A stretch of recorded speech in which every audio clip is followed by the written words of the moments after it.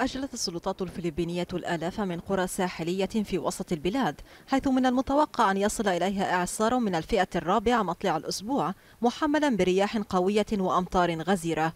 وقال مكتب الطقس أن الإعصار نوكتن المعروف محليا باسم نينا كان قد حمل رياحا سرعتها 130 كيلومترا في الساعة لكنها تباطأت إلى 15 كيلومترا في الساعة وإنه يتحرك بين الغرب والشمال الغربي متجها صوب مقاطعة كامارينز السور في شبه جزيرة بيكول.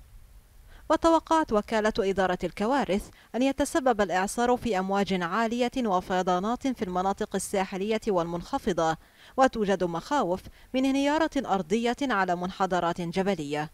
ورفعت السلطات من مستوى التحذيرات من الإعصار في تسع مقاطعات على طول الساحل الشرقي وأوقفت السفر عبر البر والبحر والجو حتى ما بعد يوم غد الأحد لتجنب وقوع حوادث. كما علق الآلاف من المسافرين خططهم لقضاء العطلات. وألغي عدد من الرحلات الجوية اليوم وغدا في المناطق الواقعة في وسط وشمال شرق البلاد كما أوقف خفر السواحل قوارب الصيد.